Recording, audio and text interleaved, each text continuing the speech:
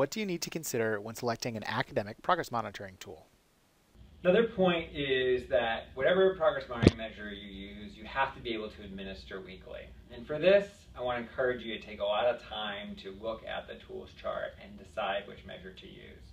And you may need additional information beyond that. Some progress monitoring systems are not designed to be administered every week. Some of them are designed to be measured every two weeks. And that's not frequent enough for the purposes of measuring intensive intervention. So look carefully to make sure that the assessment can be administered uh, very often. Also check to find out how long it takes to administer. Some progress monitoring assessments only take a few minutes. Some of them can take up to 20 minutes. And if they take a long time, it's going to be problematic in terms of doing weekly measurements. So make sure you select one that is, takes a reasonable amount of time. Another point about choosing a measure is to make sure that whatever measure you choose, it has reliability and validity data. One popular system for collecting data on oral reading fluency is the running record.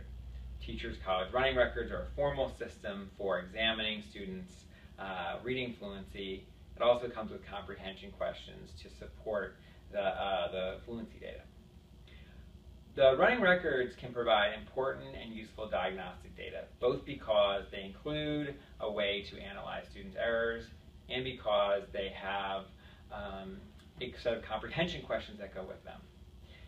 But they are not data you can use for progress monitoring. One reason you can't use running records as progress monitoring data is that even the formal running records haven't been equated.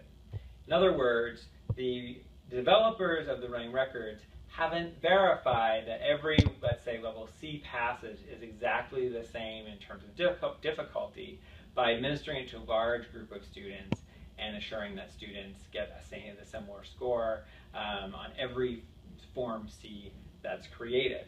So it's hard to know if you give students a C if another C is going to be the same level.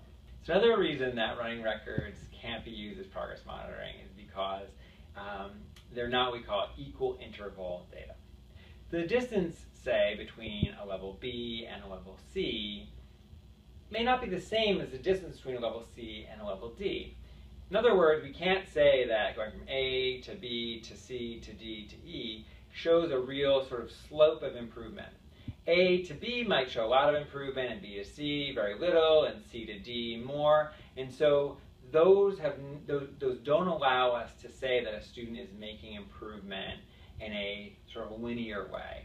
And when we look at students' improvement in grade levels, we absolutely want to be able to say that the change from one to another is sort of a continuous change.